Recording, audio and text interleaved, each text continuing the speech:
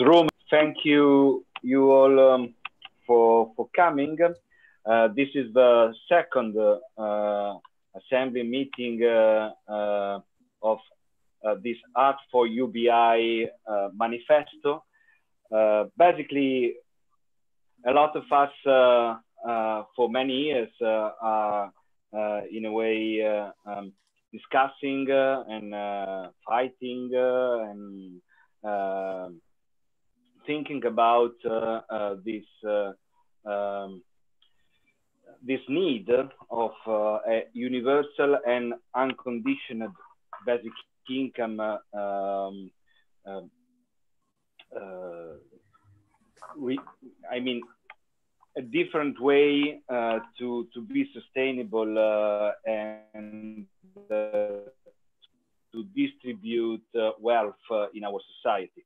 Um, the last uh, the last year uh, in uh, actually in a I have to say in a first meeting in this um, Italian um, forum for contemporary art with Institute of Radical Imag Imagination, we started again to discuss how the art sector, we uh, as artists uh, or um, operators uh, in the art in, in, the art sector Uh, uh, we could relaunch uh, a front uh, demanding and discussing what it is a universal and unconditional basic income. And then we had this first meeting in Institute of Radical Imagination, uh, School of Mutation uh, Iteration, uh, um, discussing uh, how to launch uh, a sort of uh, manifesto, very uh, uh, uh, clear and stating basically that we as artists demand a universal basic income, not simply for ourselves as a, a, mm, um, part of this society, maybe with uh, some privilege, but really uh, having a vision uh, for the world society. We as artists uh, would like to change uh, the set of this distribution of wealth in the society. And we feel that the society is needing it. Uh, in which forms? Um, uh, we don't know uh, exactly because uh, the forms are many.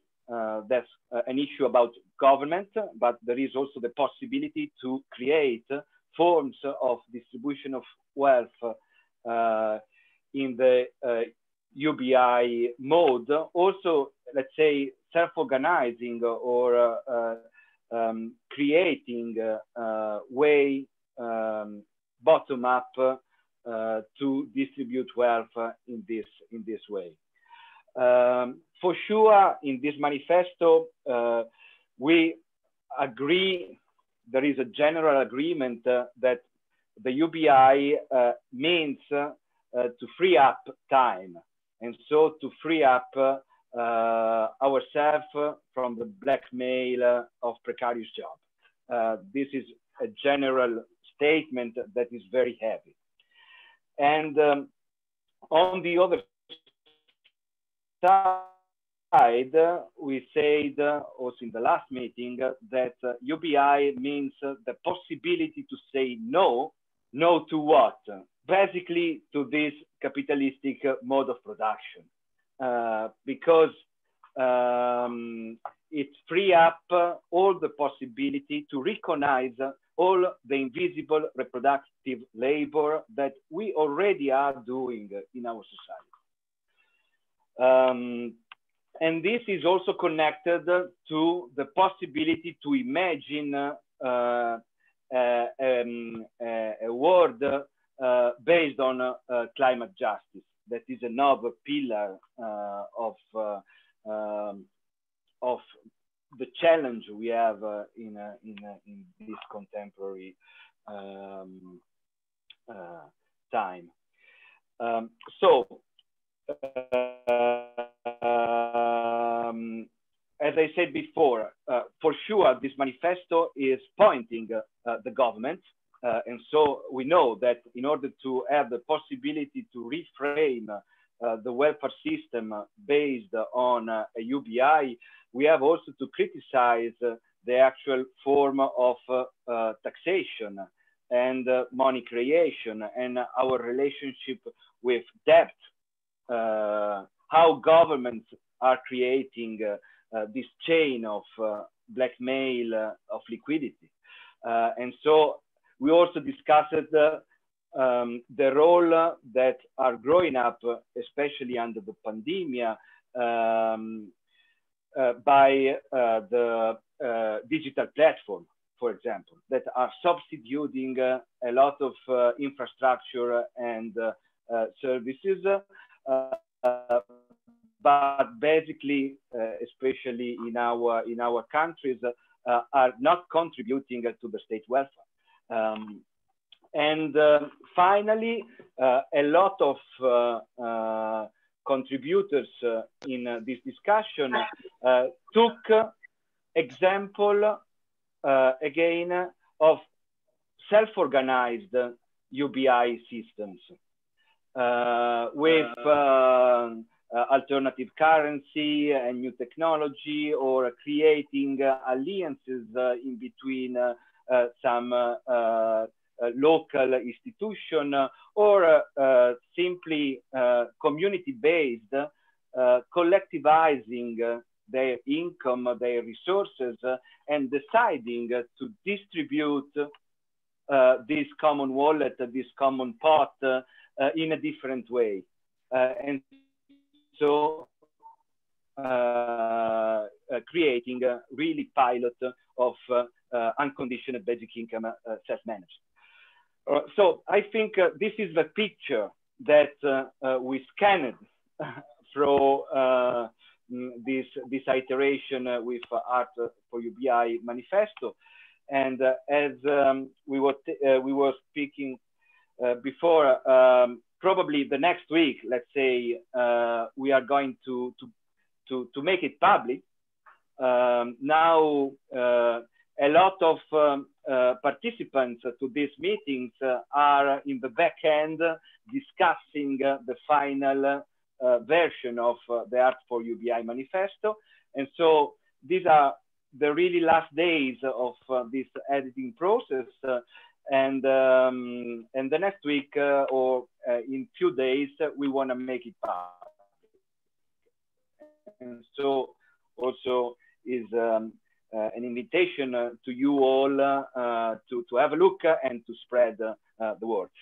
Um, so I would like maybe to to leave to Marco introduce the first speakers of today, and I hope. Uh, with uh, this uh, meeting to, to enrich um, this picture. Uh, thank you very much, Emma. So I'm glad to introduce uh, a friend and a comrade, Ilenia, Ilenia Caleo. Ilenia is an activist, a performer, and a, and a, a researcher. She works now uh, at the MA, she teaches at the MA in studies in gender politics at the University of Roma Tre in Rome, and also at the IUAV University of, uh, of Venice. Um, why is she here? She's here because uh, she has been working massively on issues such as art labor, cultural labor, um, especially from a feminist and queer perspective, she has been one of the key figures in the uh, occupation of the Teatro Valle in Rome, basically the occupation that uh, I think now almost 10 years ago, uh, basically um, initiated uh, uh, a movement of cultural workers in, uh, in an important movement of cultural workers in Italy.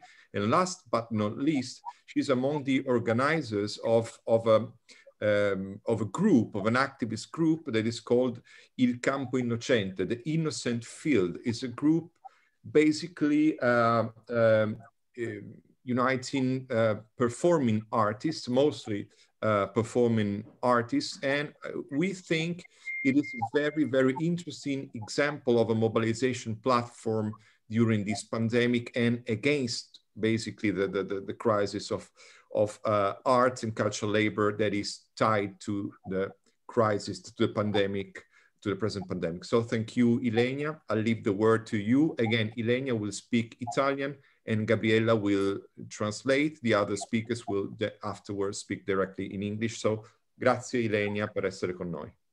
Grazie Marco. Hi to everyone. I will speak in Italian. Thanks to Gabriella for translating. Uh, allora, sì, mh, mm, qualche spunto forse può essere interessante in questo contesto, visto che arriviamo da luoghi diversi e da pratiche diverse, portare qualche spunto appunto dalla situazione italiana. Eh, in cui eh, c'è una mancanza strutturale de- di riconoscimento del lavoro artistico, proprio un mancato riconoscimento del lavoro artistico come forma, eh, come forma di lavoro.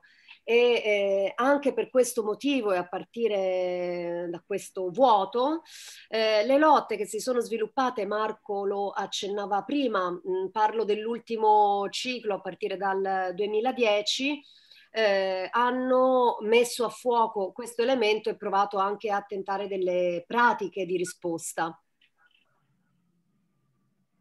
Yeah, so some ideas to put at the center of this discussion coming because we're all coming from different practices, uh, but bringing the Italian situation as an example, um, what is lacking is the Italian situation is, is lacking of a real structural recognition of artwork as such.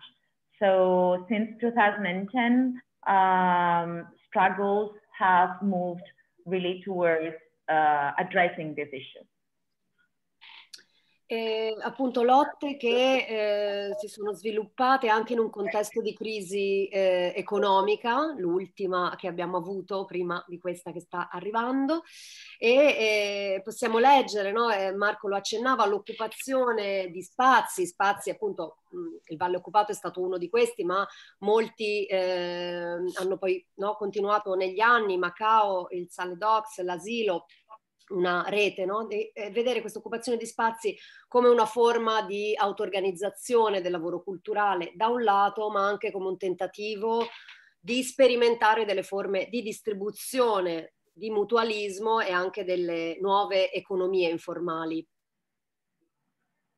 Yeah, so the struggles rose in a, during a period of economic uh, crisis, namely the period of 2020 and afterwards. And it's the period when in Italy we have uh, many occupations and a real movement starting from Valle, going to Macao in uh, Milan, Sale Docks in Venice, or L'Asilo in Napoli.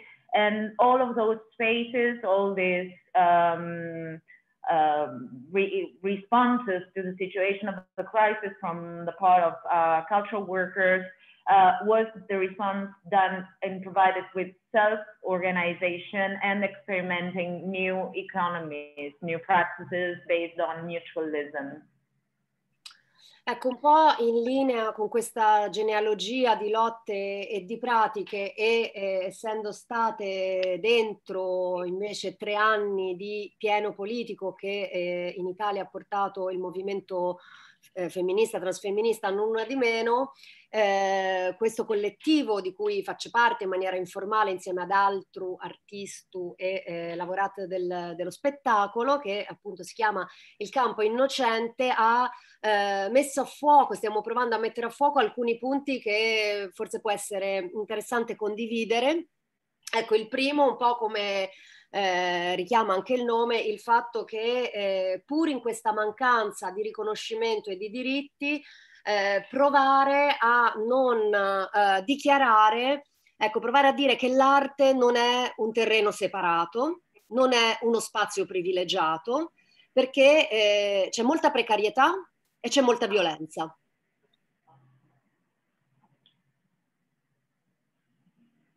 Yeah. Yeah. So um, in this genealogy of the struggles and the practices. Uh, I'm also part of this uh, political movement everywhere that's being um, largest that is mm, non una menos. Uh, and um, the collective of performers I'm part of, named Campo Innocente, the innocent field, is really uh, focusing, being a collective of performers and art workers is uh, focusing on some points. And one point is that despite the lack of recognition of rights of, to, of the rights of the uh, cultural art workers, art is not a privileged field in any way. Is a field where there is a lot of precarity and violence. So in no way uh, the artistic field um, escapes from um, common conditions. E questo è un punto importante proprio perché per questa mancanza in Italia di riconoscimento che spinge parte eh, dei lavoratori del settore del settore a chiedere uno statuto separato di riconoscimento. E, e, anche significa però dire, specialmente in questo momento di pandemia, che le lotte corporative non hanno per noi alcuna prospettiva, alcun respiro, in particolare no? in questo momento pandemico in cui ne abbiamo già parlato altre volte, eh, se c'è una cosa che eh, il virus ci sta insegnando è che i, i, corpi sono interdipendenti, che i nostri corpi sono connessi in una maniera molto profonda e immediata anche.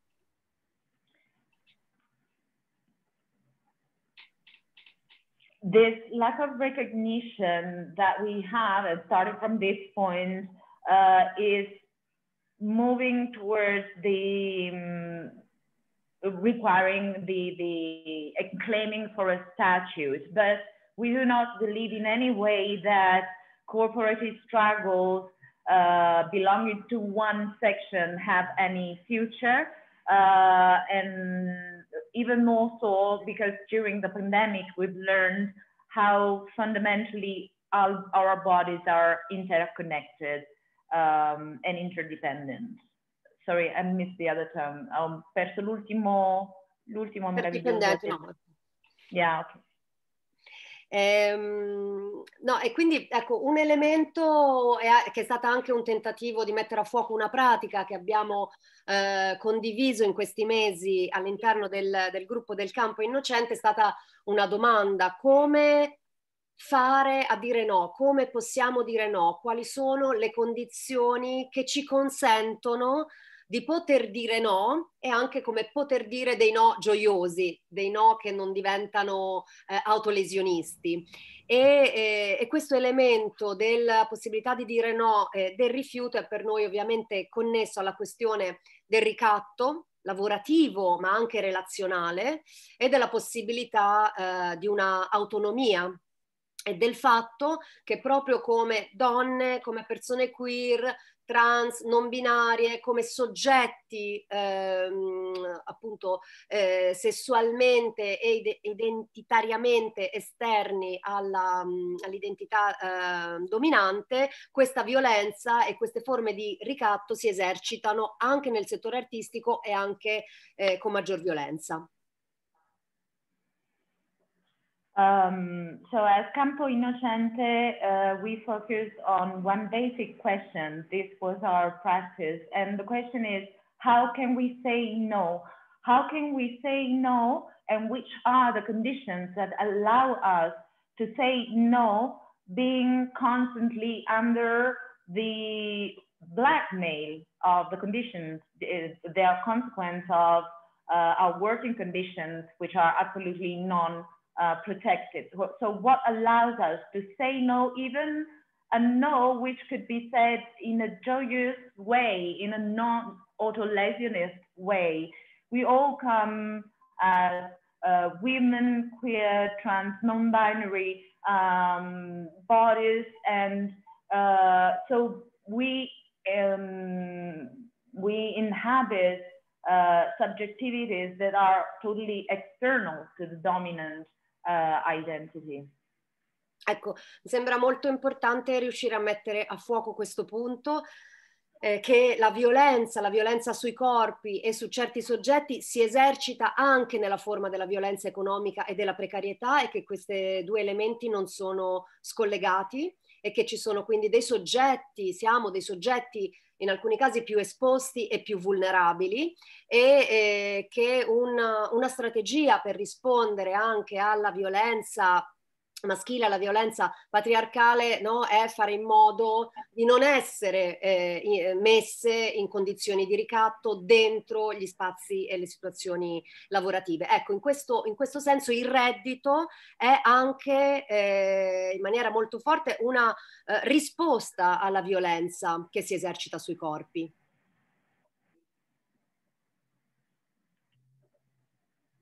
In una prospettiva um, femminista.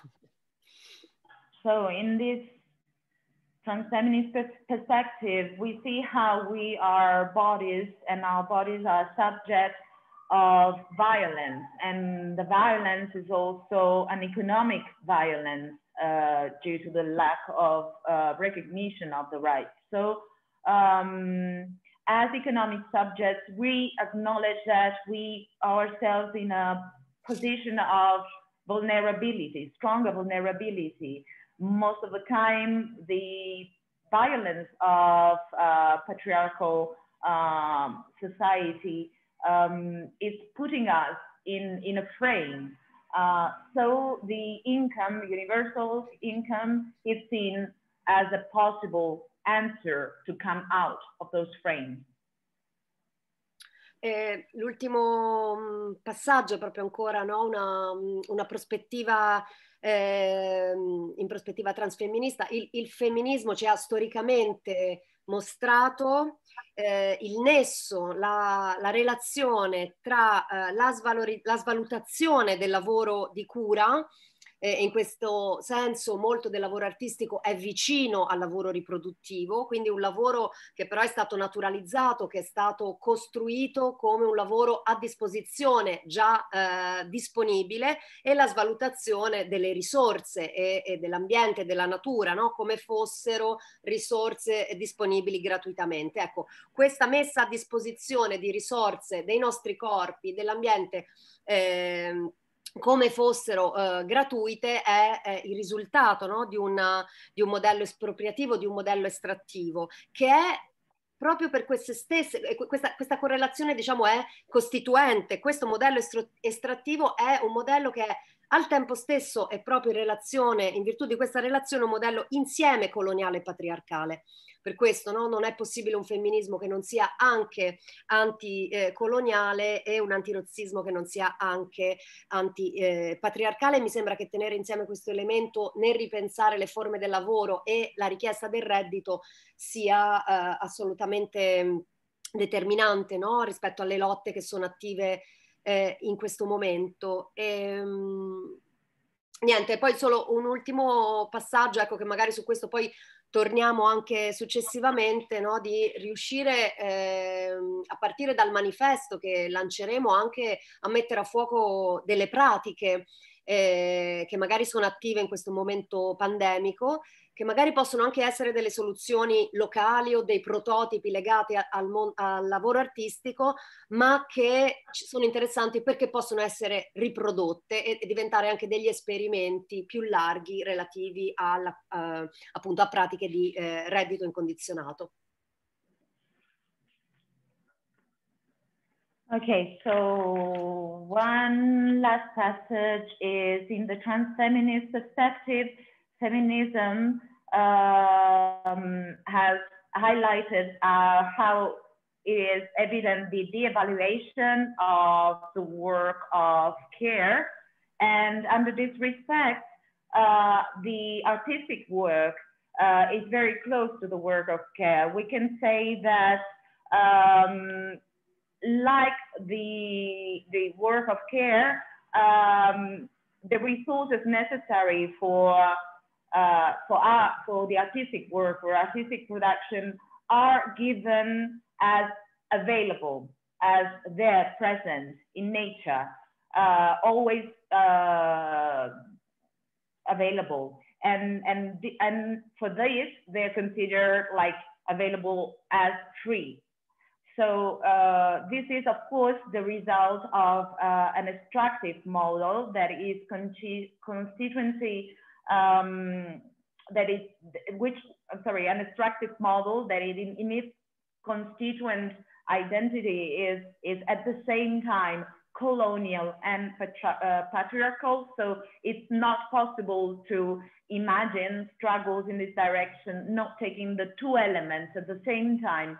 And, um, and I think that this is important and a fundamental when in new struggles, when the new struggles on, on, on, on basic income are moving to, to integrate this element. And to close with a, a last comment towards the work of the manifesto, uh, I guess it is important to focus on uh, practices, maybe practices that can be uh, given by local conditions um, or practices of, of artwork that can be reproduced in even in a smaller, uh, in a local dimension. But working towards a, manifest, a manifesto not to ignore those experiments and new practices that can nourish and move towards it. Thank you. That could be very local and specific. So thank you very much, uh, Gabriella, for the translation. Thank you, Ilenia, because I think this was a great start of our conversation. I mean, beginning by highlighting the the uh, a feminist trans-feminist point of view on UBI, I think it's very important, and it highlights also the richness and the complexity of the of the theme we are uh, debating and the radical implications of of UBI. So thank you very much, Ilenia. And um, uh, we go to our second guest, and it's my pleasure to introduce uh, Dena Beard. Dena Beard is the um, uh, executive director of the lab in San Francisco, that is a nonprofit experimental art space. And beyond that, or previously to that, he, she also was assistant curator at the Berkeley Art Museum and Pacific Film Archive.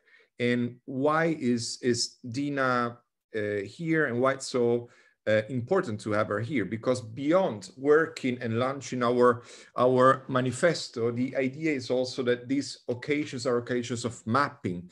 What also on the institutional level is moving uh, in relation to UBI and something is happening in San Francisco for example. So what we have read online uh, lately is that uh, starting from the first months of the new year, the city of San Francisco will implement an experimental basic income for artists where the city will select a few hundreds, probably, or I, I read 150 artists or something like that, uh, living in San Francisco, providing them with an income of a thousand dollars for at least the first six months of the year. So, of course, we want to know your informed uh, opinion. Is this only like political propaganda? It is something that uh, that has something to do with a with a sincere, let's say, um, um, goals of UBI.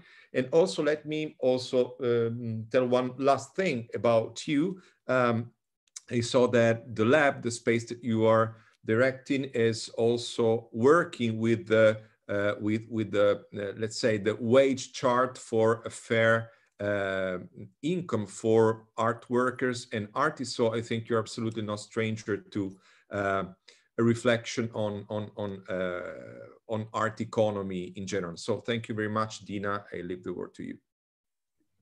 Thank you, Michael. It's great introduction. Thank you for having me and Emmanuel and Gabriella. I really appreciate having this conversation in English, even though I realize the ty tyranny of English um, is just widespread. we desperately need to move away from um, English as a as the predominant language for nuanced conversations like these. So, but thank you in this in this case for accommodating me and others.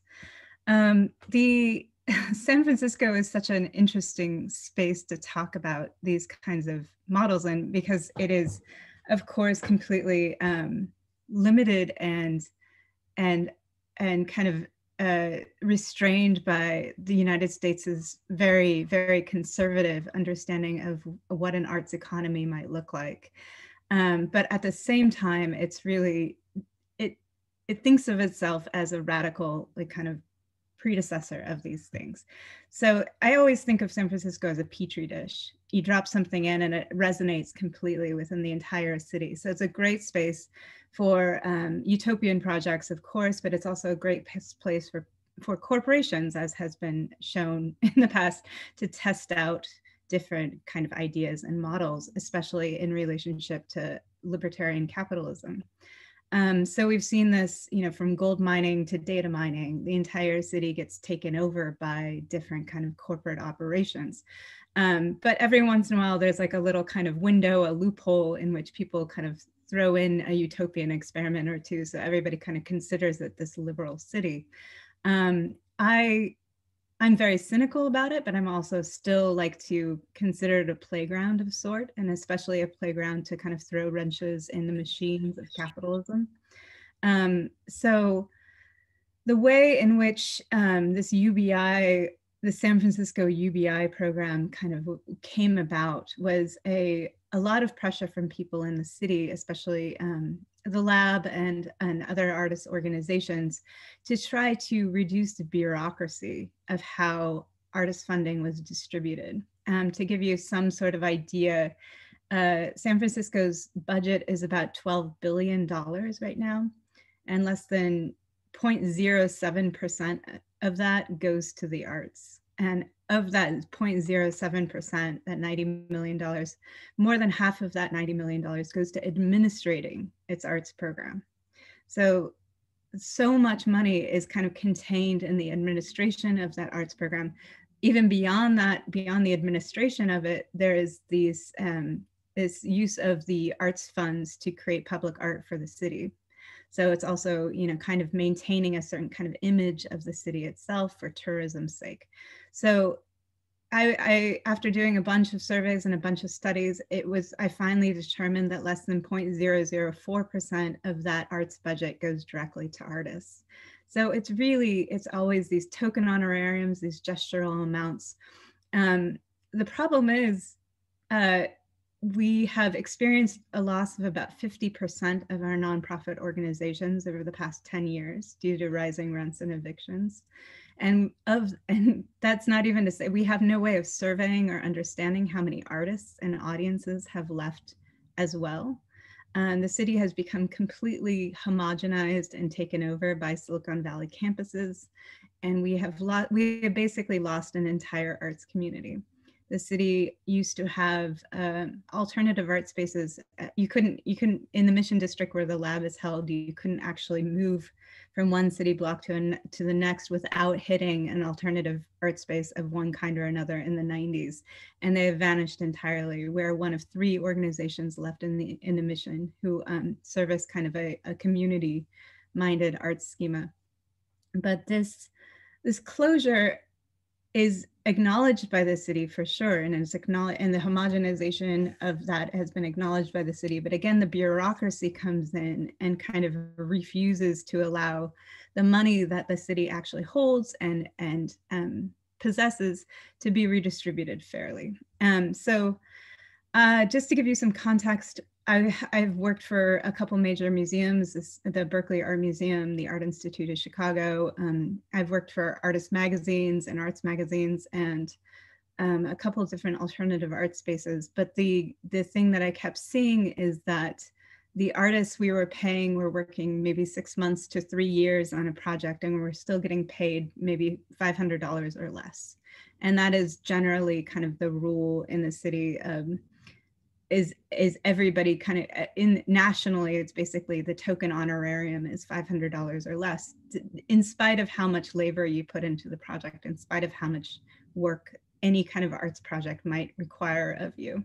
So the insanity of seeing that happen to people I knew and loved and artists that I was working intimately with for many, many years and seeing how much um, their their ability to live was compromised by their desire to produce projects um, that were benefiting these bigger, larger institutions. So by producing content and actually giving the, their labor over to these institutions, these institutions were basically extracting value from them. and we're using them to to basically create the agenda of the museum or the agenda of the art space um, and and even for the arts magazines the agenda of the magazine so it became absolutely infuriating to watch this happen to many many friends and see them get evicted from their apartments and have to leave the bay area and kind of move elsewhere to try to find find ways of working. Um, another another aspect of this model that's happened I mean, I mean i'm sure this happens in europe somewhat but um, most major museums rely on galleries to pay for the majority of their shows. So the the larger kind of solo shows by by american artists are usually subsidized at least 40% by their galleries. So their galleries are usually um, kind of producing helping produce the objects that will then sell later. So the artists will get paid eventually by the galleries. But during the immediate term, while they're producing all the work for the shows, they're not getting paid. So there's this idea that you will, you know, you just have to put everything on your credit card. You have to accrue debt, debt this immense, immense debt accrual, of course, um, which comes with its own kind of servitude and indentured servitude to um, the the credit card companies and different debting corporations. So I was working with incredibly successful artists who were enslaved by this debt. And it was just absolutely um, inconceivable to think how we could, how it could be creating this situation, how institutions who are supposedly, purportedly creating value in the lives of their audiences and the artists they serve and the people they serve were extracting so meanly and desperately value from these from these artists. It was a feudal construct. Um, so when I left the museum to take over the lab, and the lab itself was $150,000 in debt when I took it over, um, I started writing these letters about UBI. And I started writing these letters to the Arts Commission, which is the San Francisco entity that maintains the arts budget, but also um, to the mayor and other arts organizations about eliminating bureaucracy and figuring out ways to create direct payments to artists. Um, alongside, you know, I also thought that the that the um, arts budget itself should go for paying should go to pay rents um, for different nonprofit organizations. So basically, maintaining time and space for artists through these kinds of direct payments. Um, unfortunately, what seemed to happen with this new UBI model, um, which definitely was taking into account a lot of the things that I had discussed with with the um, different organ organizations um, that were administrators that I had been talking to is that you know basically it's giving $1000 stipends to 130 artists over six months. And so that's 700 it comes out to like $780000 um, on top of that $300000 $400000 has been allocated and set aside for the administration of those $780000 so and the administration will be carried out by another nonprofit. So the Arts the Arts Commission, which has 45 full-time staff members who receive health care and a pension, are now outsourcing the administration of the UBI program to another arts organization that is extracting another 30% of that funding to be able to administrate it within their own kind of mission-driven biases of that org- that organization. This had already been preconceived by you know by the um, administrators and that organization itself. So we have um, this deeply already deeply compromised program, compromised by the fact that you know at this point at least half of the income that was supposed to go to artists is already going to administration of the program itself. Um, but that it's also requiring artists to apply this really this this already the application process is becoming revealed to be like a, an, an intense labor itself. So, you know, you're talking about 30 to 50 hours of work just to complete the application. Um, and then once once the application goes in, you're looking at only six thousand dollars. So it's one thousand dollars stipends over six months. And the thing is, is the cost of renting a spare room in somebody's house that could be the size of a closet is at minimum, I mean, pre-pandemic, it was $2,000 to rent a like bare bones spare room in the city of San Francisco. Now it's about $1,600 accounting for the depreciation of, of rent. But the $1,000 a month won't even get you a room. It won't even get you a, a SRO, like a single yeah, single residency occupancy in a hotel. Like it's it's just terrible. So you are you are looking at um, it's not even it's not even barely lifting you out of poverty. It is giving you a tiny tiny boost to maybe like subsidize some art materials. Um, so it's not UBI. Um, it's not even it's not unconditional and it's not universal in any way, shape, or form. But it is a gesture and I do exper- I do appreciate the experiment a lot, but more than anything, if we're gonna have if we're going to talk about UBI, we're going to have to talk about bureaucracy and we're going to have to talk about how much administration is required to to distribute those funds and to create spaces in which we can actually reallocate that wealth fairly and completely. Um, I don't, you know, always this idea of uh, unconditional I can get behind in no, no matter way, shape or form. Universal is also is just a, incredibly difficult to conceive um, within nations and states and borders that have so many different um, limitations on what universality means. So we are, um, when it comes to this experiment, I think it's already failed, but it's definitely a, you know, it's worthy, it's worthy of consideration and it's worthy of pushback. And I hope um, the global community at least responds to San Francisco and its and its kind of kind of pathetic liberal attempts to create something akin to a UBI program and says like, no, actually what we're talking about is this. Like, good try, well attempted, but what we're trying to do is this. So um, the thing that you know, the thing that we're trying to do at the lab and why I took over the lab is create something that's more akin to just um, create a space and give people keys to that space, the login for our website, the, the absolute um, autonomy to totally take over the institution itself. So the basically, um, I give artists twenty-five thousand to hundred thousand dollars each. I get three to four, three to four artists per year this money. And this is definitely not universal. I'm definitely working with artists who are considering how how to remodel institutions and how to think about platforms for their work and definitely thinking in a political realm as ways ways of creating not only mutual aid for for people in the city but also creating spaces in which um, artwork can actually come to exist so the nuances and the apolitical senses of art can actually um, drive drive our, our sensibilities in the world.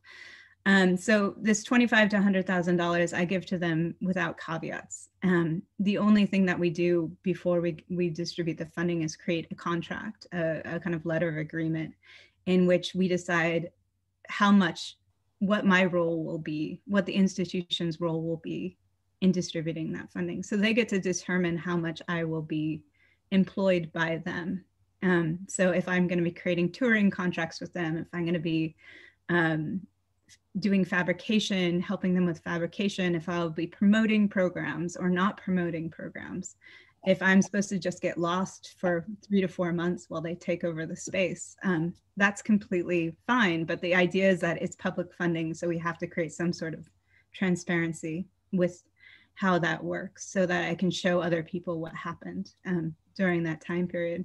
But those conflicts and the failures and the inevitable like whatever you know whenever an artist kind of like you know one of one of their artists asked us to saw down the security security gates we had over our windows in the lab um, which you know kind of opens us up to we're in a kind of difficult neighborhood so it just opens us up to all these security concerns. But we we did that absolutely with the understanding that you know this is part of the process, like um, thinking about all of these concerns. So what the lab does is definitely not a UBI model, but it's definitely attempting to think about what it's like to redistribute funds without caveats unconditionally, and also think about what artists can do with institutions, like allowing allowing institutions to be rebuilt through that model, to be changed and systemically like impacted by that funding. So the funding is actually enables direct democracy to happen more than anything else. So I think that's all I had to say, but I really appreciate this chance to talk with you all. Thank you very much, Dena, for opening this window on the Bay Area and you know to to to basically uh, let us know about this. This that looks more like a marketing operation, a branding operation in the homeland of libertarian capitalism. Uh, but consider that the um, Art for UBI network is an ally in order to advocate for, uh, let's say, real forms of, of, of UBI and at least, at least effective forms. Uh, so I thank you very much again. I hand over the, the, the uh, to Emanuele, Emma. So you yeah. can introduce the next guest. Yeah, thank you, thank you, Dena. And uh, uh, in the UBI in the UBI manifesto, we have uh, a dot uh, against bureaucracy. Uh, because we defined the bureaucracy as sort of vampire of uh, um, the artist um, um, energies, uh, but also, as you said, uh, more concretely, of also uh, the money, the public money um, management. Um, just to say that in Milano, in the in our uh, Macao Art Center, uh, we did a pilot of uh, UBI, self-managed. So we collect money in the organization. And uh, we passed through this discussion for uh, at least uh, three years, how to reduce the self-bureaucracy generated. and in the end, we decided that the easiest way was to create this fund and allow everyone to ask for monthly based uh, a, um, a, basic income. So it's a sort of uh, uh, mutual aid trust in between uh, the artist community. And everyone that in that month claim for the for the basic income created by the community has access. Uh, without any more discussion. And and this i have to say is, is quite hard uh, but anyway, uh, also generated fight in between uh, the members because after a while, um, maybe claiming for your basic income in front of the other members because you want to do nothing in this moment uh, is quite no uh, a gesture of freedom. But in the end uh, like foster i think in long terms also um, the relational fabric of trust in between um, uh, the, the artist community. Um, the next uh, speakers is uh, Julio Linares. I met Julio in many um, occasions in the last years in Europe uh, in these um, uh, panels, uh, gathering networks, um, uh, of people that were um, experimenting with new technology and blockchain uh, alternative uh, economic space, basically. Um, and um, uh, Julio um, is um, an economic uh, anthropologist uh, serving this network called Basic Income Earth Network. Um, he is from Guatemala, but based uh, uh, in Berlin uh, in the last years. and currently, currently working on this project called Circle UBI. That is a universal basic income project on blockchain. his work explores the relationship between money, direct democracy, uh, technology, and uh, basic income. Uh, today, uh, he uh, proposed to me to speak about the circle, and he gave also a title to this intervention that is In Search of the Money of the Commons. Thank you, Manuele, uh, and thank you everybody for organizing. Also, thank you, Ilenia, for the good, uh, very, very nice uh, introduction. also, the very good talk of Dana. I'm really happy to be here and to share with you all for a little bit. I hope you can hear me well. Um, so as Emmanuel was saying, I am uh, originally from Guatemala, uh, but I've been living in this uh, little peninsula of Asia as I call it, called Europe uh, for the last two years. And uh, yes, I've been here working on a project called Circles UBI, which is an attempt at uh, doing economic art in a way, or economic democracy as well. So it's, yes, um, I call the talk uh, in search of the money commons because uh, I, I, I, like this as a way of framing uh, what it means for me to do a real uh, radically revolutionary basic income. So today money, as everybody knows, is a commodity. It's a, it's a, it's a fetish, a commodity fetishism, no? Marx called it a commodity form in this first chapter of the Capital, uh, when it's uh, basically this power that humans do when they assign uh, powers to an object, and then this object has powers over them, uh, turning them also into objects, no? Turning everything into commodities. So today, money is like God that turns everything else into another commodity. And so uh, I came to the Circles project thinking, okay, how how could we make other gods possible or, or other goddesses? No? How do we use these uh, machine fetishes that are today our, our, our monies, uh, so to speak, uh, as a way of dealing away with the private property of money and bringing together, I think in Italian you call it a moneta comune or a money commons, uh, which is basically, uh, I would say the initial condition if you really want to have the basis of a radically different democratic society. And so um, the Circles project uh, started, I think the idea a couple of years ago, seven, six years ago, by uh, some people inside of this crypto world. I, I call it crypto feudalism because of its political economy. It's quite feudal in its nature because of many problems that it has just as, you know, technology as a whole today. Um, but uh, the idea was basically of saying, how about if everybody could issue uh, their own money and then exchange with each other uh, uh in, in sort of any society that they're in and exchange uh, with who the, whom they trust. Um, so that was very interesting for me because at the time I was doing research on ways of financing a basic income. So I was thinking about it from a state perspective. I was thinking about it, okay, what if we make a sovereign wealth fund? uh, and make an investment fund that uh, makes an industry and then the dividend of this industry gets given to people as a basic income. Or let's do taxation, no? redistribute taxes from the rich and give it to the poor. Or, uh, and, and, and through this exploration, I was thinking to myself, well, okay, if there is a basic income happening in Switzerland, it will not change anything at the, at the planetary level.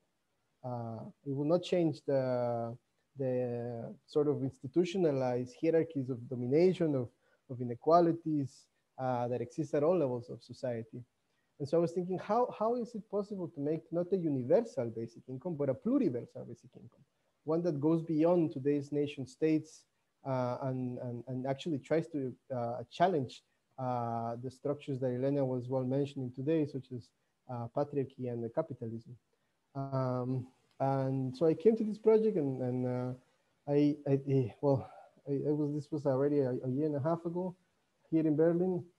At the beginning, I didn't know anything about uh, technology. I'm an economic anthropologist. I, you know, was slowly studying money and value and where does it come from and all these questions. And I got into this feudal world, the crypto feudal world, and started understanding, you know, uh, how all this magic, all this digital alchemy, uh, these programmers and all these people comes about.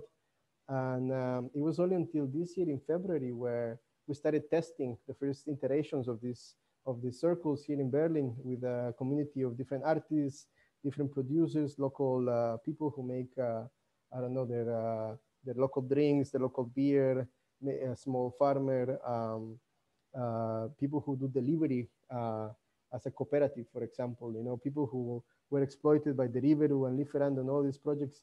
Um, and started to self-organize. No, so basically connecting with other cooperatives here around Berlin and, and see how we could complement each other's uh, needs with the resources that uh, the others could bring. Um, and so that was a, a, very interesting process because I was thinking, okay, it's not just uh, about making uh, money uh, because anybody can issue their own money.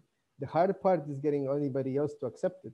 And so we were thinking, okay, how do we bring this digital money on a crypto blockchain to a normal person on a shop in Berlin who only accepts cash, uh, right? And this was uh, this is this is still a challenge, no, because it really tells you like sort of the global uh, hierarchies of uh, of how these things work. Like many people uh, think that uh, you know being cashless is the future and so on, but in fact it's a, it's a problem. No, uh, we say that we are trying to provide an alternative to to the to the digital infrastructures, the digital colonial infrastructures of Visa and Mastercard and all these things. But it's really really a challenge uh, to try to fight these monsters in practice, like to build an infrastructure that can allow for the community's production of value to flow and be accepted and exchanged and, and actually build other, uh, other, uh, other forms of organizing life.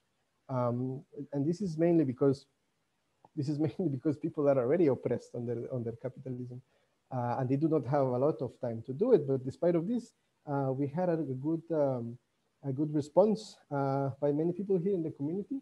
And then uh, it was a very interesting moment just about two months ago we did the official launch of Circle. So we stopped this testing phase and we, we launched it officially to the world. And uh, one thing happened, which was that it, it came to Twitter.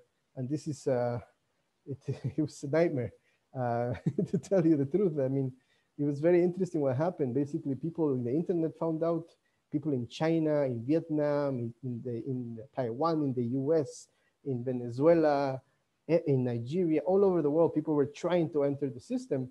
And we had a team of five, you know, hackers and activists and artists. Uh, my two hackers uh, were totally burned out. They wanted to come to the party of the launch, which was meant for the local community.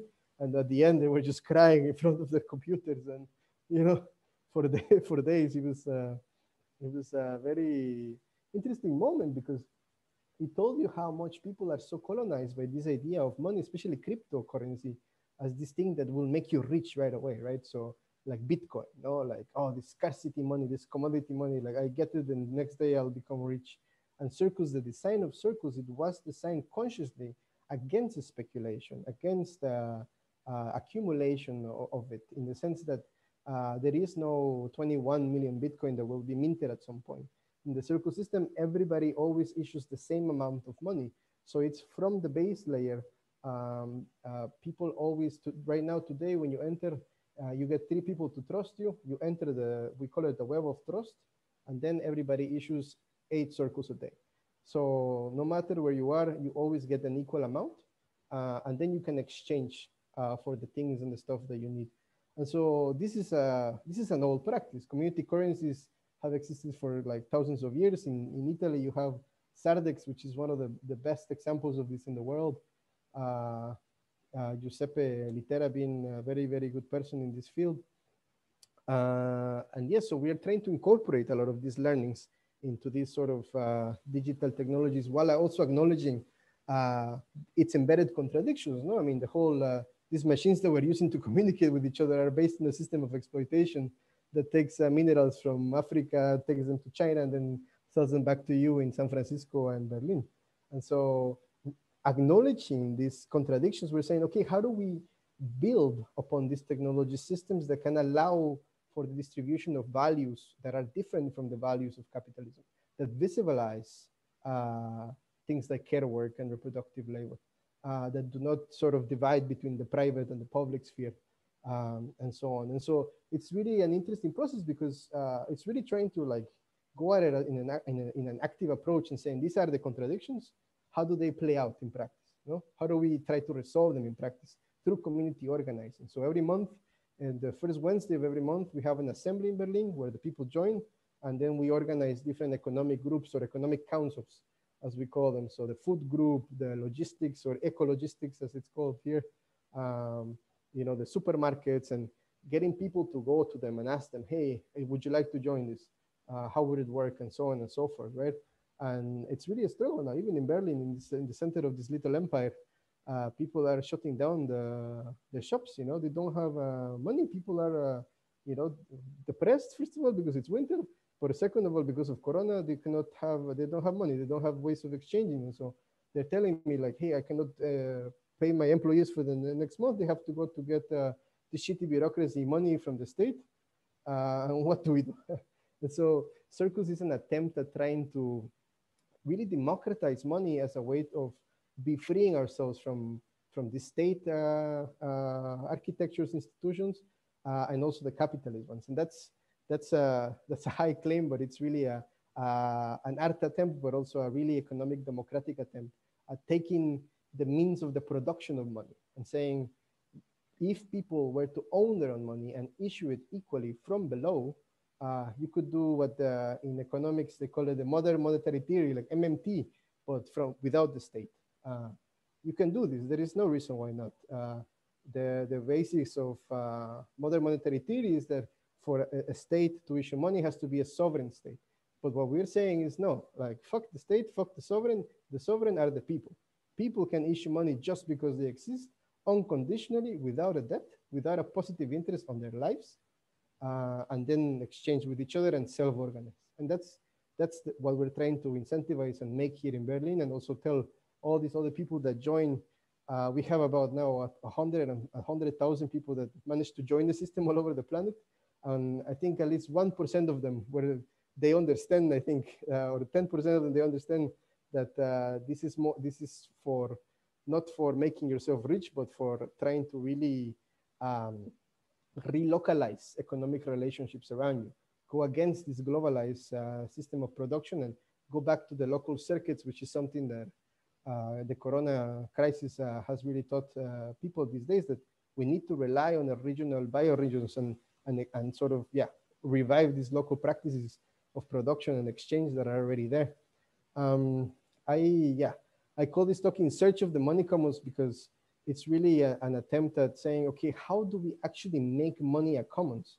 How, how do we take away the private property within money itself in order to not just imagine, but to really materialize other worlds uh, beyond the, this framework of the state and, and, and the capitalism and create other social forms like this democratic confederalism that the Kurdish people talk about uh, how do we bring about these democratic municipal assemblies that can federate from national to international levels and have a monetary system that is democratic as well. So this is the sort of uh, sort of the terms that I'm trying to think about and organize about. Of course, with uh, with you know it's many many contradictions, um, but I, I, think I'll leave it at that, and then yeah, we can talk about later in the in the questions. Thank you, thank you very much. Julio, the last the last time uh, I was in conversation with Julio, uh, it was together with another great anthropologist uh, uh that was uh, David Graeber, um, and they, yeah, we shared in the last years a lot of research in this hype of blockchain and, and new technology. But in the end, this crypto, this crypto world, um, after during 10 years, uh, in my opinion, uh, um, uh, made in evidence uh, that uh, in a way he was not able to change anything it, the, the, without this uh, question questioning what is the value no? Because because basically we saw that uh, Bitcoin went very fast from a DIY uh, uh, alternative to uh, financial market and white male betting for a Lambo. no, um, and so basically, if there is not this anthropolo anthropological or cultural debate that is questioning what is the value for us? Because what is wealth for us? For us, no. Uh, uh, probably the well for me is um, is also to have joy, uh, to uh, to to being able to, uh, to to to share in a cooperative way um, uh, what I am doing, to to foster these um, alliances and social fabric in between in between human and uh, also resources, not human uh, and uh, other other actors. I am happy for that. No, I, why I am storing money if I have not this value? No, And so on the other side, there is a process, what we call this extractive model is a way to storage an abstract value that in the end has no sense, even no sense. No, uh, it it makes us lose what is value.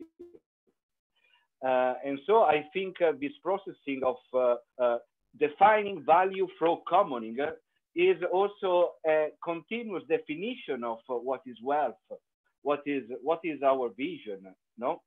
And that's why also the autonomy in defining uh, a monetary system uh, and economical space is not so much about uh, abstract money, but is more about what we want, what we enjoy really, but not in a fake no um, marketing of, of, of, of desire.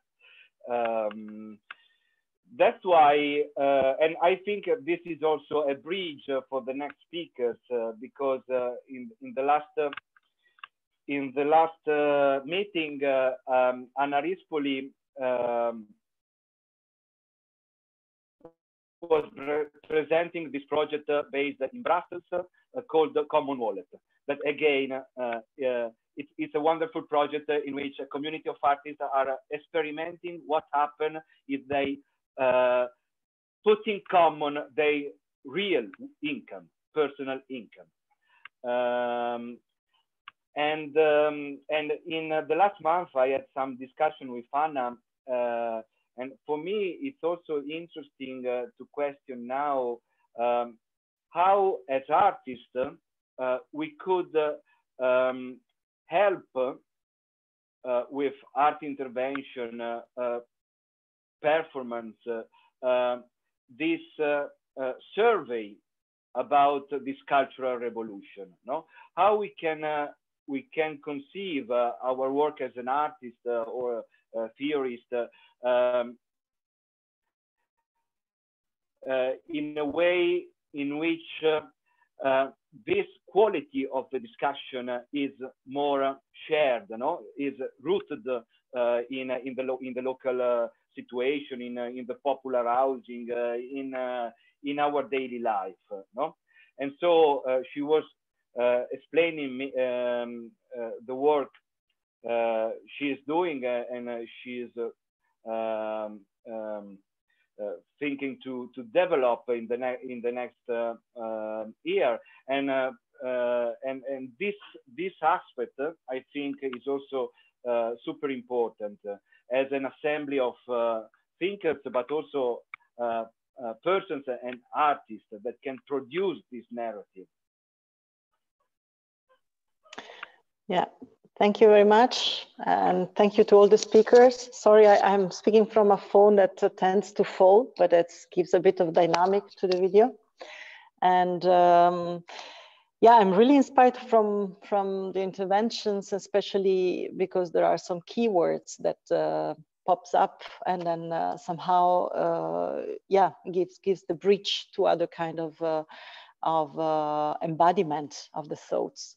Uh, one of these is the bureaucracy that Dena just mentioned. I mean, how to face bureaucracy and I have to say that in our experience with the Common Wallet, that uh, as uh, Emanuele said, is, uh, is a group of 10, uh, 10 uh, art maker, or let's say art related people uh, that decided to, to share only one bank account and to put all the income we generate, all the income we have from all kind of things like from public funding to the to uh, uh, unemployment, to uh, to salaries, um, to the you know the kids the kids benefits.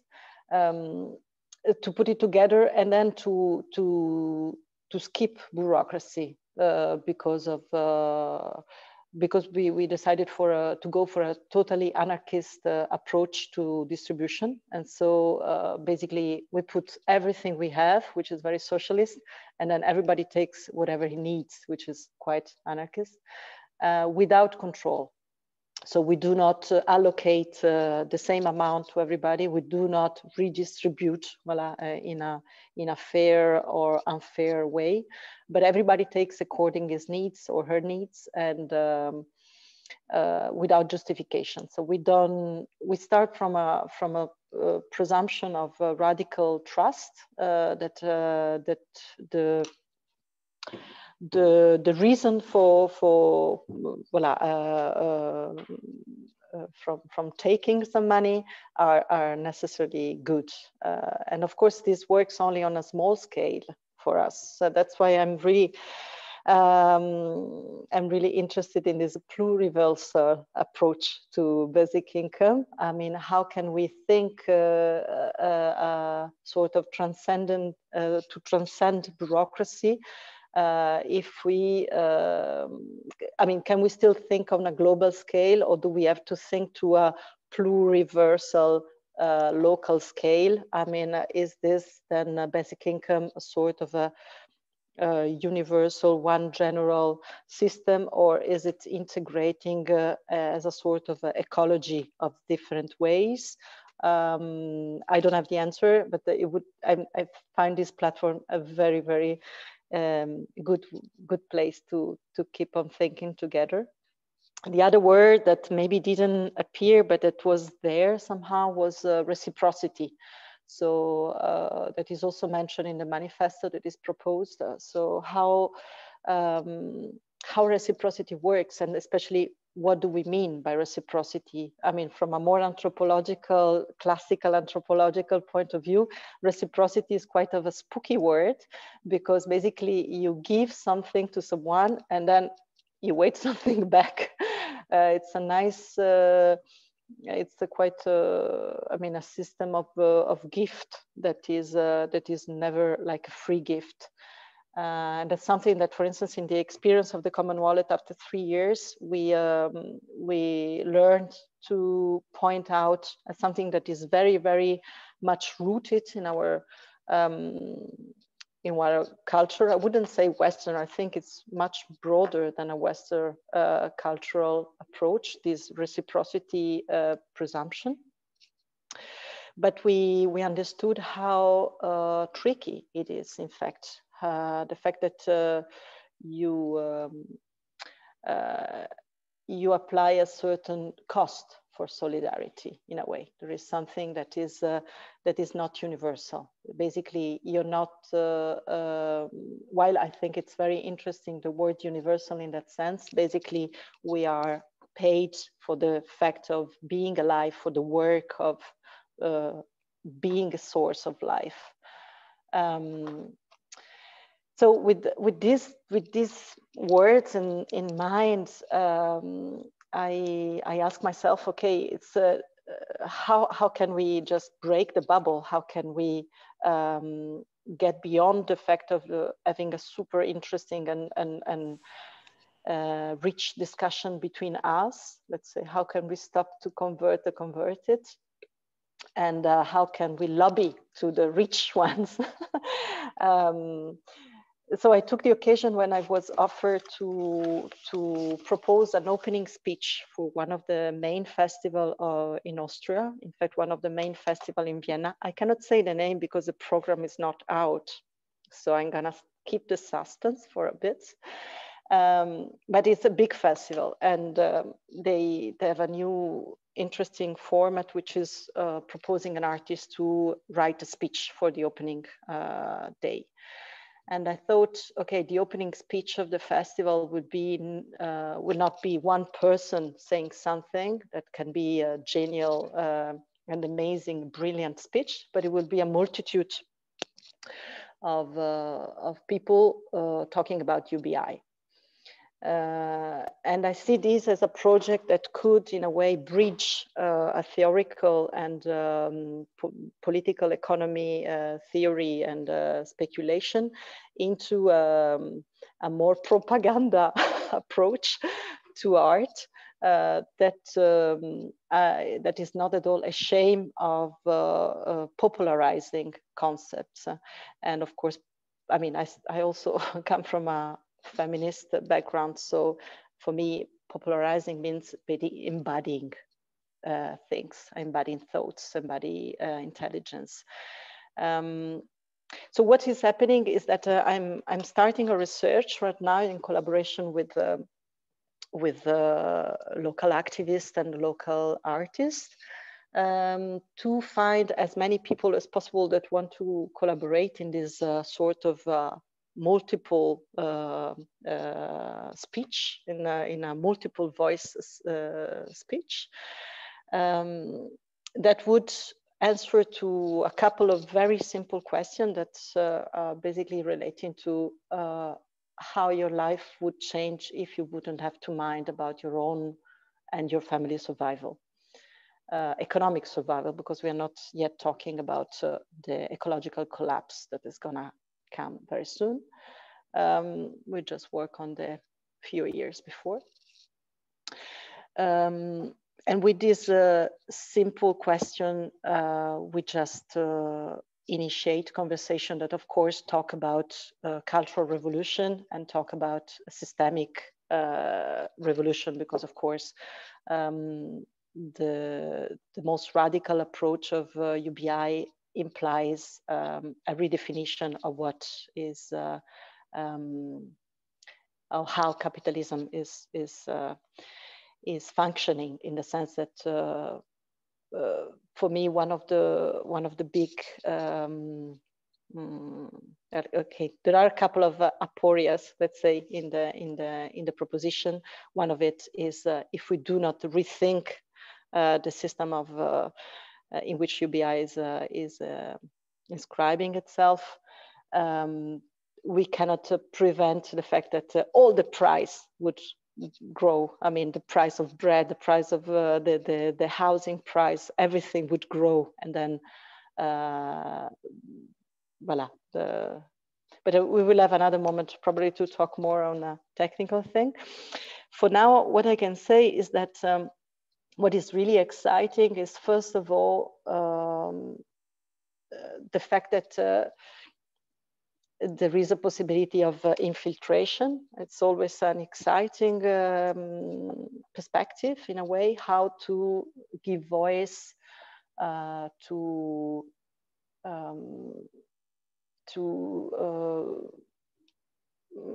irredent and uh, and um, um, naughty, say, um, uh, proposition and and how to confront uh, what is uh, the what what what is outside the bubble and what is outside our own bubble. Um, how would uh, the millionaire in Vienna would react to this proposition? How would the conservative would react to this proposition, and how would the social democratic uh, establishment would react to this proposition. Um, the project is linked to a media campaign because voilà, the festival is a, is a big festival, so we, we probably will manage to uh, have the text uh, published on, uh, on national newspapers as many as much as uh, uh, the free newspaper that uh, homeless uh, association are distributing for free in the city. So uh, how to bridge uh, different levels. And voila for me it would be really a great chance if um, voila if this platform would like to collaborate in a sense to be a sort of a sparring partner um, thinking together about uh, uh, getting out of the comfort zone, our comfort zone and the comfort zone of the established art institution that is, uh, in this case, that is taking a risk. Well, I keep it short because I have the feeling that we are already a bit um, uh, quite late. And so it would be great to keep a bit of time for questions. So thank you very much, Anna, and thank you very much for the invitation to collaborate and to, to the occasion that you are providing to uh, Art for UBI Manifesto with this uh, Vienna plan that really sounds sounds not only exciting but also important, you know, like an important occasion. So thank you very much. And this is, I think, a very, a very interesting way through which we can continue to work together, not only as you know, rights in a collective manifesto and advocating for UBI, but also testing ourselves really uh, uh, on the ground of, of cultural production, cultural industries, the art system. So I think it's it's a great opportunity that you're offering all of us here. And uh, let's let's then pass to our uh, next and last guest before we open uh, to questions. And um, so the next guest is Gabriella Riccio. Gabriella Riccio is first of all, as Emanuele and I, uh, part of the, uh, of the Institute of Radical Imagination. She is a researcher, she's an artist, she's a cultural organizer. She is based in Madrid and Naples. And in Naples, she is part of the Asilo. Asilo is a self-managed space that uh, it's very linked to cultural production, to the arts, but deals with basically practicing culture and arts as commons. So uh, please, Gabriella, it's your turn. Thank you very much. Yes, thank you. Thank you, Marco. Actually, I was participating to the discussion and together here with me, uh, there is Giuseppe Micciarelli, um, which I reciprocally introduce as researcher and a member of L'Asilo. And um, after the pandemic, well, during the pandemic, um, we, as L'Asilo, we were involved um, in a European project on commons. Uh, well, actually, we brought into the project uh, the perspective of the commons. And at that time, we were asked to propose um, something that could be useful uh, for art uh, and, and cultural workers uh, in the new scenario that, that was evident. And the one evident thing uh, that was happening in Italy, but it was the same destiny uh, in many other countries, is that uh, art workers and cultural workers were, well, that not only we saw that, that art was considered a non-essential activity. So uh, it was not in the priority.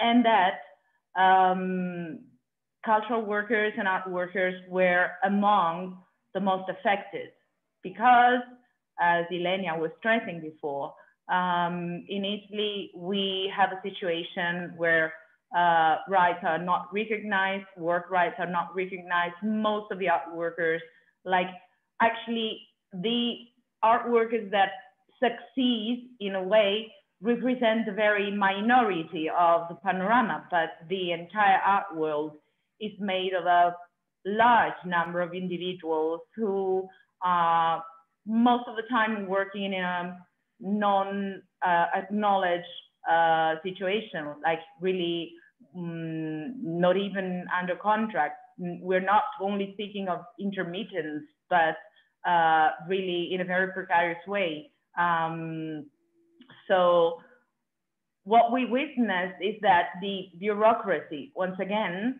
when the state was, was presenting solutions with some art bonuses for, for artists, actually the large majority couldn't be reached by those measures because they were not in the bureaucratic system. They were not acknowledged by the institution who normally manage assistance. Um, so they were absolutely uh, precarious. They were losing their, not only their capacity to survive, but also to pay for their houses. They were absolutely precarious. So um, L'Asilo started amplifying and connecting all the many tables that opened in all over Italy of, of groups of, of art workers uh, um, asking to the institutions to be seen, to be recognized, to acknowledge their situation. Um, and they, uh, they really were, were a large number of tables in all the regions. Um, so we tried to elaborate on this idea. And, and of course, the idea is that um, we needed measures to reach those, those workers. And one possibility that I will then call Giuseppe into to articulate better was that to claim for an income of care and creativity. Uh, we know that universal basic income is um, a concept under which many tools then need to be articulated and, and declined in their specificity. And the idea of an income of that, that can acknowledge creativity and care as a fundamental function of our social fabric, of our healthy uh, societies, uh, could be one of the tools that we have available here. So uh, Giuseppe, please come into the discussion. Hi, hi to everyone. I was not prepared to say something about this, but uh, thank you, Gabriella, very much to introduce this, this uh, reflection. And I will shortly only introduce this idea because maybe we have to create another um, moment of discussion, a wider one. Uh, and I also make a, a couple of questions, uh, just maybe to start the debate after. So the starting point is that UBI is uh, crucial and is fundamental, but exactly as uh, Dena have, have said, uh, is different because we claim something universal, but there are not universal institutions. Um, uh, and so this means that uh, in uh, the real system, UBI uh, will be always uh, um, changed in a different uh, sort kind of right of, of, of administrative tools, bureaucratic tools, and that's what we have to face. So for this reason, another question is how we can imagine that also after we have some kind of money, we can claim to do our work. A lot of time our work as cultural workers is invisible. What I've said, Gabriella, is exactly one of the most important and relevant point. Uh, this is the connection with the feminist struggles, as Ilenia said a lot of time, not only artists, but all cognitive workers, I am a precarious of, of academy, uh, are uh, totally uh, disappeared during their researches, their work, their investment uh, of uh, study, of creativity, all of that is totally disappeared. So what we have to gain uh, is to use UBI as a powerful instrument that start ourselves to make other and many other uh, claim around income because this is the first UBI is the probably the most important because it's the first income that all workers all over the world in different countries can claim. And this connect in different in different claim and different struggles. But this is not enough because uh, for example uh, the problem of invisibility in my work is the invisibility, all right, you have not a contract, you are not a full professor, uh, 10 years of precarity in academy. So I invisibilize your work. Also, if I perceive UBI, I will not be recognized in the academic system as a cognitive worker. And this is exactly the problem that capital, cap, capitalist system um, uh, try to hide also our uh, competence. And uh, this is a, a, big issue. We can we can speak more about after. I don't want to take a lot of time. I just finished by saying what we uh, imagine in asilo as gabriella introduced.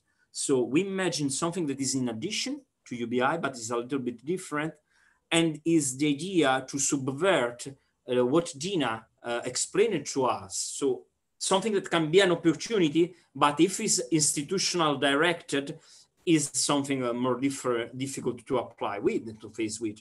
So we imagine exactly that uh, all um, cognitive worker, not only artists, can uh, claim not only money, but can claim uh, money for make their own project during one year that is recognized as an artistic and cultural project. And the other element is that we're speaking about uh, income of uh, care also because there is another problem. Also, if they give us money, the problem is that, and also if the money are uh, uh, on the vital wage, the point is that um, we will use this money to live, but to subvert exactly as uh, Emma and Marco said, the blackmail of laboristic welfare and work, we need more money. If I have a, a research project or Gabriella have a, another kind of artistic project, we need to a space. And Dena was precisely saying us how it costs to work in a, in a space in San Francisco, but this is the same everywhere. So we need money for an artistic project and we need also money for host institutions that are formal and informal institutions that are totally erased exactly in the pandemic. Because what they are going to close are not the only and they don't start from big museum and big theater. They have always some kind of um, uh, financing. The problem is that what are going to close is all the little theaters, all the cultural spaces, independent spaces. And so we have to connect the idea that, and I finish, um, we have the possibility every two, three years to say, stop a moment to the system, starting from UBI, I take my UBI, but I also apply to a special fund. And in this moment in Europe with the recovery fund, we are speaking exactly about that. And this kind of fund will not be organized from the cultural institution, traditional one, because we, if we leave this money to the traditional institution, they will use exactly this money to uh, uh, do the same kind of uh, clientelism. I don't know how to say uh, but the, same kind of artistic mainstream direction where we uh, that, that we know and that we we struggle against. So we have imagined that there will be a big part of, of this found when we are speaking about cognitive worker that that uh, uh, should be um, given directly to workers that apply ourselves for an artistic project that maybe have or not also a, a, a social impact or whatever else without some kind of output that is recognized. And we have to imagine also that this kind of income is doubled and is given also to little and informal institution that we need.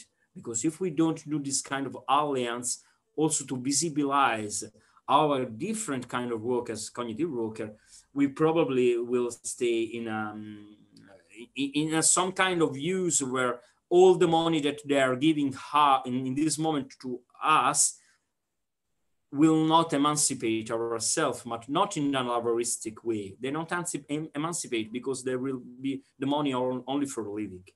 So we have to imagine different kind. Also, we can translate these also to other kind of work, also to fabric and industrial work. If we imagine that this kind of, of additional uh, income may help self-organize uh, association and, and corporation. Uh, so we can imagine a lot, starting exactly from, you, from UBI, but going also over. Uh, sorry for Thank you. Thank you very much to Gabriel and Giuseppe. And I think another positive thing that we probably didn't calculate in the beginning, but is, that is happening um, during this process of writing and discussing about this for UBI manifesto is that many uh, specific solutions are coming up that maybe are not exactly universal basic income, but that are in the spirit of a universal basic income. Uh, only tonight I listed four, like the creativity and care income that we just discussed, the, the lab method to work with artists, uh, circles, and the common wallet. So I think like another important thing is to um, is is being a catalyzer for this type of experiences that once you figure them all together, they are an impressive, an impressive set of practices, I would say. So it, it is a bit late, but it's now time to, um, to open up the debate. I just ask um, the, the, the people to be, to be as concise as possible with interventions and questions. So uh, if there are questions, I'll leave it to, the, to it. Yeah, I have just one very little question, two short, really um, flash questions to Dena. Uh, if I understand well, uh, the idea of this basic income in San Francisco, the experiment goes before the pandemic. Like the idea of the project was already there. And is this really referring to 150 artists? Like, are we speaking of 150 artists in the entire city of San Francisco? This, this two questions. No, I think the the project has been in the works for about three years, as far as I know. Um, it's been a campaign on many many different fronts to try to get something of course it was completely butchered along the way but the uh, yes it's only for 130 artists so but of course there are probably i mean I, I can't even count how many artists there are in San Francisco, but there, we have one of the largest artist labor forces in the country. So there, it's just absolutely impossible that 130 must be like an less than a fifth of uh, uh, a, a like a five percent of what of what that represents. And it, of course the definition of artist is so insanely hard to pin down. Do you call a graphic designer? Do you call you know a janitor who has an art practice on the side? Do you you know what is what is that definition? And how do we who who are we to say? Who are we to define that? I mean that's a really big question can I can I ask a question following that? Is that all right? Yeah. A, a kind of riffing from that. Um, I've been following circles for a long time, for for a little while, Julio, and I'm just very curious about um, this idea of renegotiating value with this this kind of these online communities and trying to figure out what um, what it would mean to create a UBI that was not only based on in, in the kind of virtual realm, but also regionally very located. So the, the Sardex, of course, is, is, is so located in Sardinia, like the idea of, of being able to go to your local baker in Berlin and trading circles money for flour or for or, and they and they go to their their flour distributor and exchange circles money for you know that that is really tremendously appealing, creating that linkage. But it's it's interesting to me that um, it's a it's a global model. So circles open globally, which is part of the whole like. Um, it seemed like the the confusion between you know what it was and and and how it actually operated but i like this idea of renegotiating value both on a regional scale but also having a larger conversation with it um, can you can you address how how that's been working out i know this is just an experiment Yes, um, this is a, an open experiment, so it's not there is no randomized control trials. There is no, uh, you know, none of these colonial methods. It's just an open experiment, and there are, of course, because of that, unintended consequences. No, so we intended to do something locally that became then global or, or, or local, which is a really awful term that anthropologists use to talk about the glocal and the global together. Uh, yeah, so that was a bit awkward, and just like money is awkward, that was also very strange because suddenly you get this flood of people asking to be trusted online and people are like hey no i don't know you. Why would i trust you? Who are you? Like you know? And so that was very interesting because it, it became somehow uh, exclusionary right? Like people wanting to join and then they couldn't join. We had landlords in cadiz in spain saying i want to give i want to accept circles for rent so my uh, uh, rent like people that rent my, my my house or my place can also accept it in their businesses you know. But when we also had like the typical person was like, oh, how can I put this into an exchange, right? So that's that's really where the value struggle is happening, where the politics is happening, uh, where people are saying, okay, what do I want to use this money for? Because it's just it's just a tool, right? The the the, the, the ethics, the the politics that you embed it with, that's what matters, and that's really what we're trying to build up here in Berlin is a culture, right? Of, of, of saying like, it's really a circle. Like, it's not just, okay, great, everybody wants to get their veggies from the Solidarity Lefty farmer, but it's also a question of what is the farmer going to use it for, right? So then they can also like make a make a circle around and really regionalize that economy. So it's really a, a, a matter of contestation. It's a political struggle, uh, just like money is a political struggle. And what we're trying to say is, okay, how do we inbuild like this sort of practice of direct democracy, of self-organization as a way of doing that, right? And that's that's really where the challenge is. And so also a part of part of the the strategy is also to, to go to already local majors, like crazy lefty majors that want to try this out um, and say, okay, like because if the if the local so to say sovereign already accepts it, uh, then it's easier for the people to say, okay, this is money, great, right? Otherwise, the the political struggle is is uh, is, hard, is harder, right? Because you really need to prove that this is money. Um, we're in a, you know, the moment is, is, is ripe for it. We're living in the in the worst economic crisis in the 1930s, but it's also a bit of a hack of how do you organize the, an alternative economy. Uh, this has been done in economic crisis. People use complementary currencies, right? Like Sardex emerged 10 years ago, and the WIR and so on and so forth. But now with the corona, how do you also bring this, not just care, but healthcare into this? How do you make sure that when you do this, the people that will not, you know, uh, suffer or get infected and so on? So that's, it's a really delicate matter, you know, because I'm, I'm for, yeah, let's, you know, exchange and so on, but it's also, you can't do that right now. We're in a lockdown in Germany. So it's a bit of a, I don't know if anybody has good ideas on that. I will really appreciate it.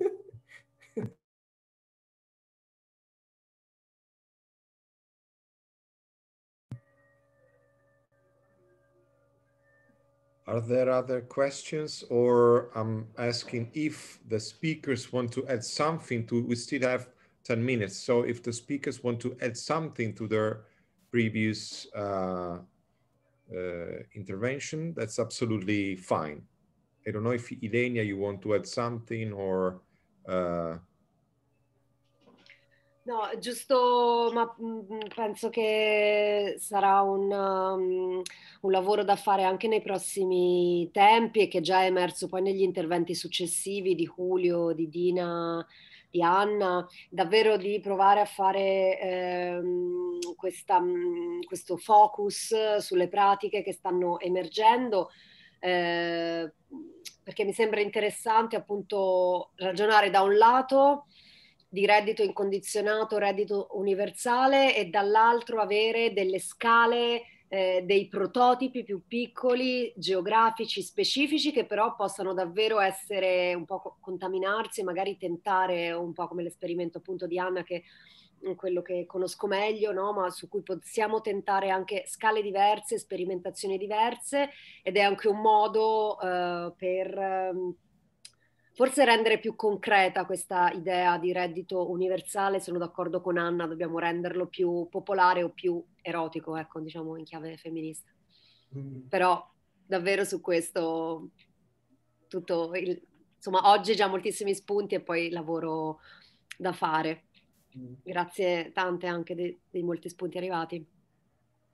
Yeah, so um, Ilenia was um, highlighting that the work to be done in the next steps of our meetings will be that to focus on, on the practices that are emerging. Like already today, there were many uh, examples of different practices. So the idea is to decline uh, the, the claim for UBI, also looking at different scales, uh, different geographical situated practices, uh, and to understand how can we can contaminate uh, and hybridize this concept and um, yes, to conceive UBI in a more erotic way under a feminist perspective.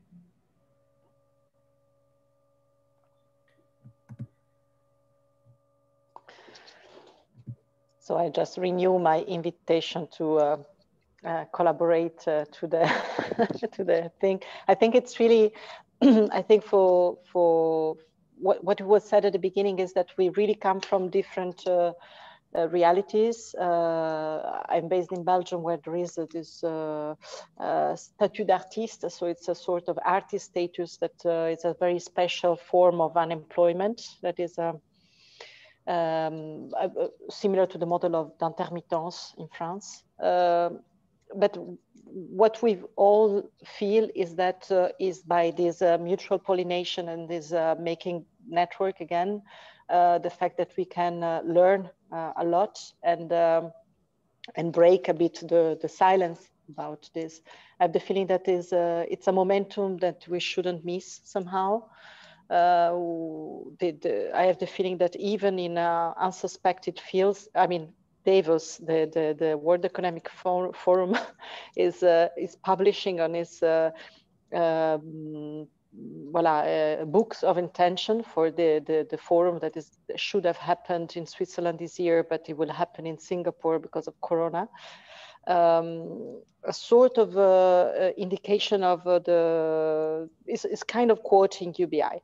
So we should also be able to to to to take back the voice on where it should stand and just to take care that is not um, that is not uh, exploited, that is not uh, um, manipulated also from uh, point of view and uh, from um, political agendas that are not probably as democratic as we want. So thank you anyway for organizing this. This is a, I find it really as a good beginning. May I? That's all. The, yeah, yeah, yeah. Um, just very, very quickly, I, I just like to end with this idea that, you know, when the Corona crisis started, it opened an intergalactic gate uh, that we must seize the moment of. Um, you know, the idea of the economy, this oikos meant originally a household in ancient Greece. And right now with the Corona crisis, we really see that we live in a planetary oikos, in a planetary household. And we must learn how to how to live together in this way. We are all suffering from the same things right now in similar ways, of course, uh, you know, under our own local conditions. But uh, this is a moment to really reimagine and rethink the economy itself uh, by also rethinking money and rethinking like how we relate to one another. Money is just a set of promises uh, that we give to one another. So. Uh, how do we stop uh, believing in the promises of the state and believe more in the promises of the commons? Otherwise, we will not change the course of the moment.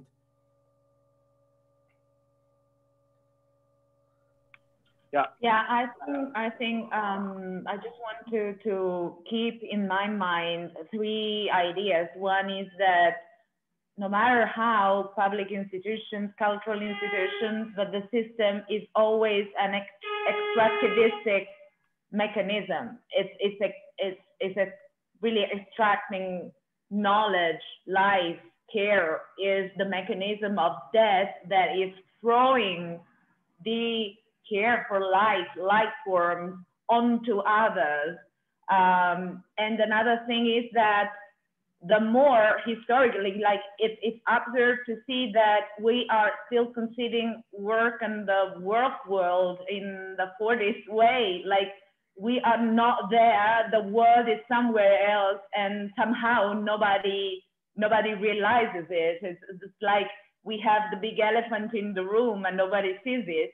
So I think that this manifesto is really addressing this on, on a larger scale. Like it is important to acknowledge that in our systems, the work is no more the, the salary work with the eight hours and stop. It goes, the, the, the boundaries between our lives and our works are totally blurred. And we pay for that with, with a disponibility seven hours over seven and 24 hours a day. And every time artists have claimed for resources, this somehow in the last 20 years has always turned into putting more resources to the institutions that have to manage the resources. And so in a inflation mechanism, the resources for the artists aren't there anymore, exactly like Dana was addressing in, in what's going on in, in New York. So um, really, we, we should propose ways to experiment, not only experiment, but really to to give a different value to, as, as Julio said, to make money a common. Okay. Uh, is there any other intervention? Because it's 8.29, and so we could be really on time. Um, yeah, just to give some conclusion to, to this meeting. Uh, um, so, being very practical, uh, we have, uh, uh in terms of uh, agenda, uh, we have publication of the R4UBI manifesto in the next weeks. Um, I think it's um, it's it's a good idea that rise up uh, from the meeting uh, to open uh, a public session maybe on the Institute of Radical Imagination website mapping all the projects that passed through this discussion and the previous discussions. And so for sure, um, we have um, Circle, uh, the uh, uh, unconditioned um, income for artists uh, for creative and care proposed by um, Gabriella and um, and Giuseppe. Um, we have um, uh, our experience in Milano with uh, Common Coin. We have Common in Brussels. Uh, we have this um, um situation, let's say, in San Francisco that uh, is processing uh, an institutional uh, mm, basic income provided by the city, but with some criticism. And this discussion um, um, that Dena was taking to us about um, how to give up uh, or to uh, go beyond the bureaucracy and have uh, experimentation in uh, um, giving to the artist uh, uh, the wealth to produce on an um, institutional level. and, and, and we could even keep it open in the process, no?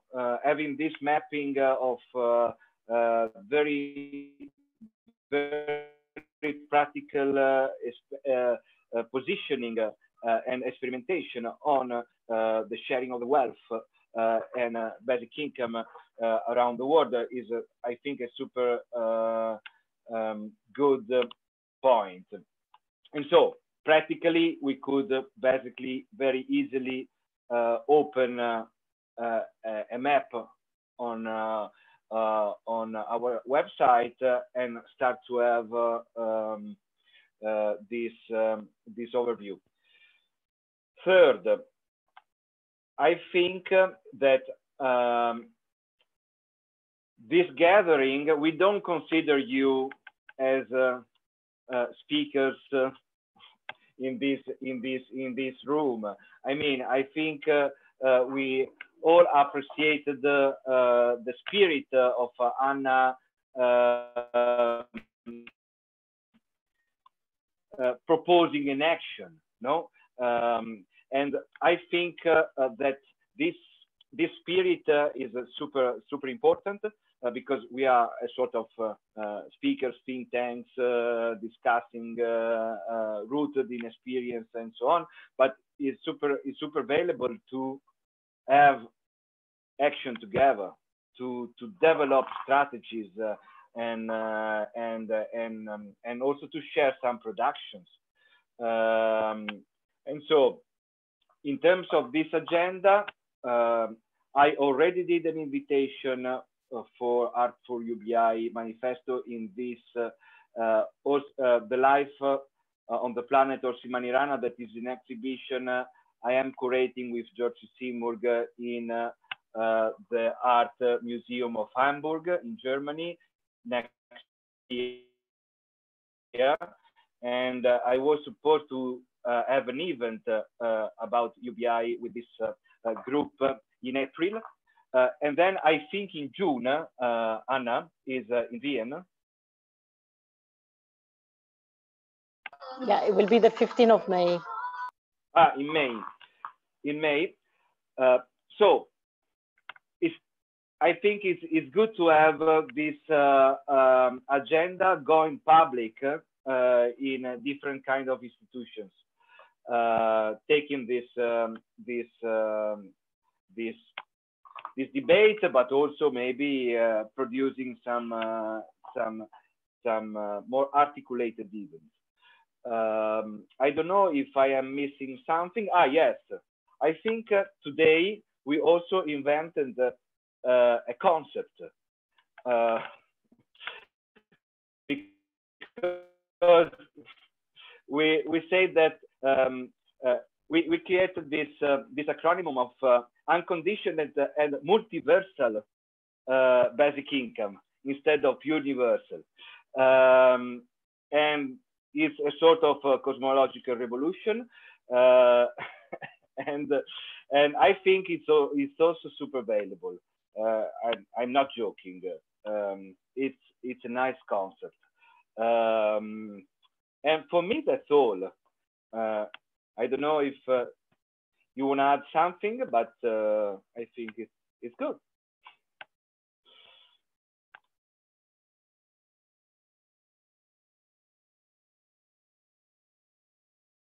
I have to say bye-bye. Thank you. Thank bye. you. Thank you very much. Bye. Bye. We'll be in touch. Let's keep in touch. Yeah. Yes. MBI. Bye bye. Thank you. MBI. PBI. Thank you to everyone. Ciao. Ciao, ciao, ciao, grazie. Ciao, ciao grazie.